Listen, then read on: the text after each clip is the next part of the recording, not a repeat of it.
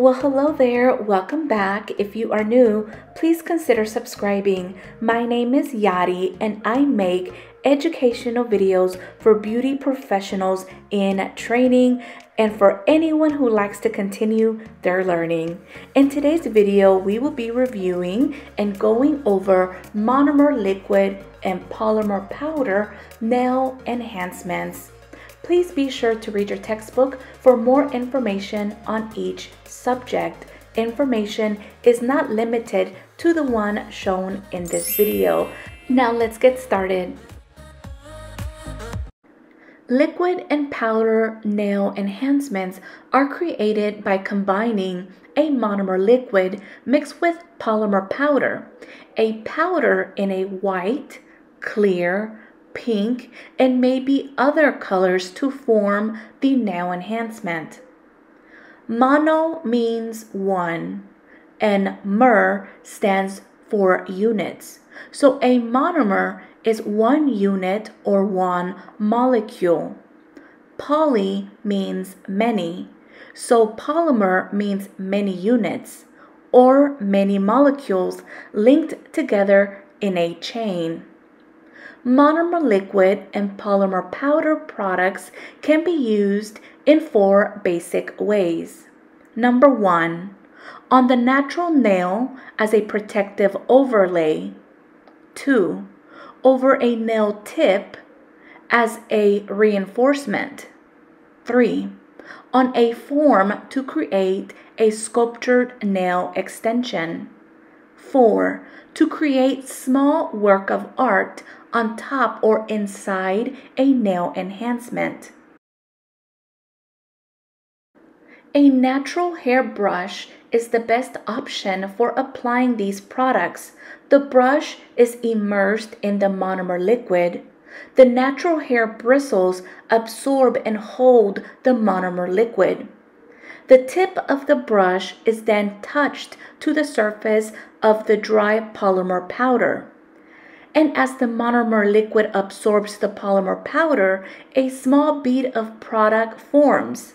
This small bead is then placed on the nail surface and molded into the shape with the brush. The monomer liquid portion is usually one of three versions of monomer used in the nail industry ethyl methacrylate, methyl methacrylate, or odorless monomer liquid.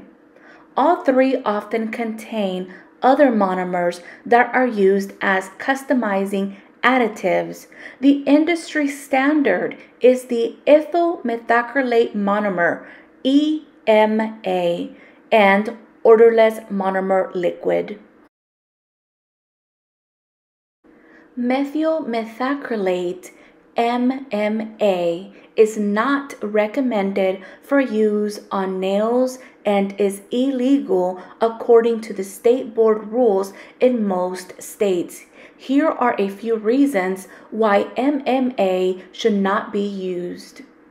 MMA nail products do not adhere well to the nail plate. MMA create the hardest and most rigid nail enhancement, which makes them very difficult to break. MMA is very hard to remove and does not dissolve easily. The FDA says not to use it. When liquid is picked up by a brush and mixed with powder, the bead that forms on the end of the brush quickly begins to harden. In order for this process to begin, the monomers and polymers require special additives called catalysts. Additives designed to speed up the chemical reactions. Catalysts are added to the monomer liquid and used to control the set or curing time. The catalyst energizes and activates the initiators. The initiators found in polymer powder, when activated by a catalyst, will spring into action and cause monomer molecules to permanently link together into long polymer chains. This action is referred to as a polymerization process. This begins at the time the liquid in the brush picks up powder from the container and forms a bead. Creating polymers can be thought of as a chain reaction, also known as polymerization reaction, a process that joins together monomers to create very long polymer chains. The initiator that is added to the polymer powder is called benzoyl peroxide. It is the same ingredient used in over the counter acne medicine, except that it has a different purpose in nail enhancement products. Odorless monomer liquid and polymer powder products do not necessarily have the same chemistry as other monomer liquid and polymer powder products. Rather than using ethyl acrylic, these products rely on monomers that have little odor. Even though these products are called odorless, they do have a slight odor. Odorless products must be used with a dry mix ratio, equal parts liquid and powder in a bead. If they are too wet when applied, the client risks developing a skin irritation or sensitivity. Odorless products harden more slowly and create a tacky layer on the top called the inhibition layer. This layer can be rolled off or filed away with a medium grit abrasive used from cuticle to free edge. Identify the supplies. The monomer liquid will be combined with polymer powder to form the nail enhancement. The amount of monomer liquid and polymer powder used to create a bead is called the mix ratio. A bead mix ratio can be best described as dry, medium, or wet. If equal amount of liquid and powder are used to create the bead, it is called a dry bead. Dry beads can be difficult to press into place and will usually contain many air bubbles.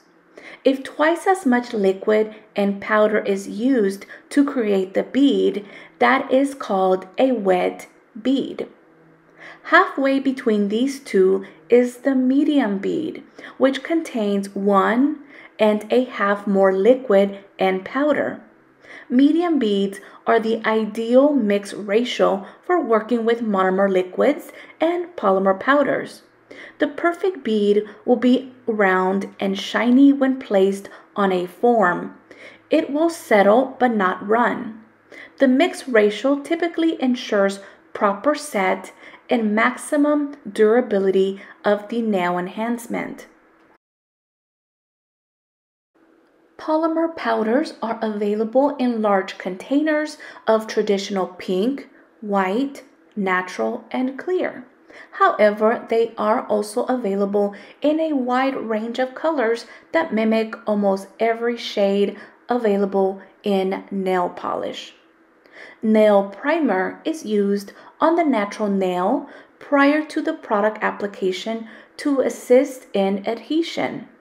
There are basically two kinds of nail primers for preparing the natural nail for a liquid and powder nail enhancement. They are acid based and non acid primers, meaning acid free.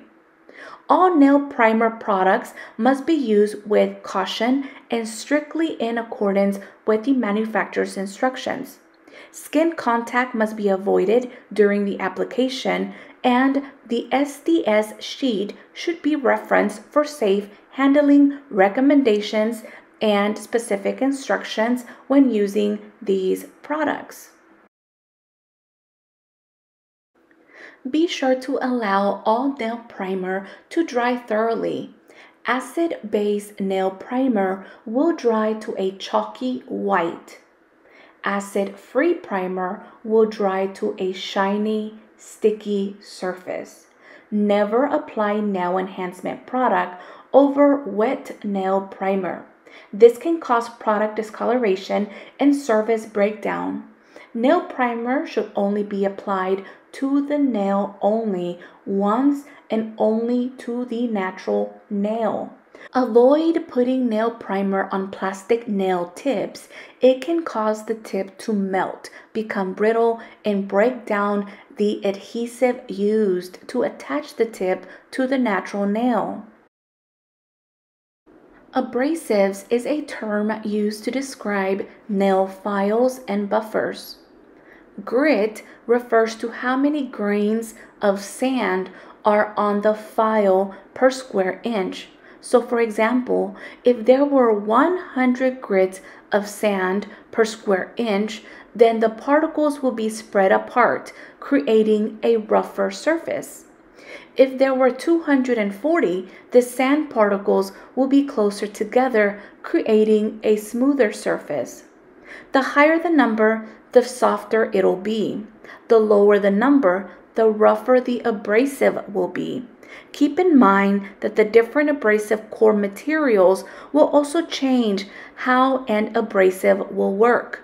Plastic and wood cores are used for files in plastic. Sponge cores are used in buffers.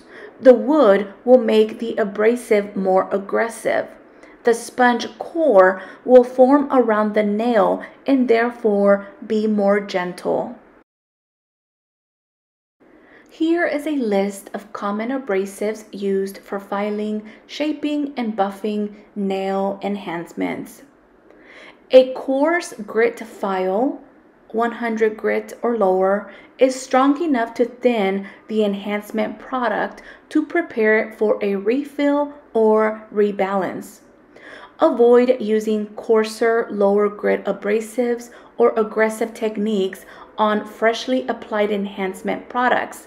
This can damage freshly created nail enhancements and also create lifting, which happens when artificial products lift up or pull away from the nail. A medium grit file, anywhere between 150 to 180, is used for the initial shaping of the perimeter of the nail, refining the overall surface shape of the nail enhancement, or for smoothing the surface before buffing. A fine grit file 240 grit or higher is used for refining and finish filing. This file is also used to shape the free edge of a natural nail. Buffers also come in groups between 100 and 400. These buffers are used to remove the scratches in the surface of the nail that files have created.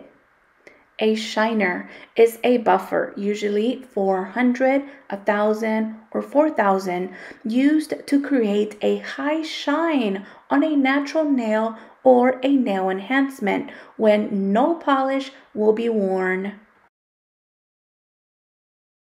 Nail tips and forms. They may be used if the guest would like to extend the length of the nails. Nail tips are pre-formed plastic nail extensions that can be attached to the nail with an adhesive to create length before overlaying with liquid and powder. Nail forms are placed under the free edge of the natural nail and used as a foundation and guide to sculpt liquid and powder beyond the fingertip to create length. Dappen dish is a small glass or plastic container that holds a minimum amount of product for one service use.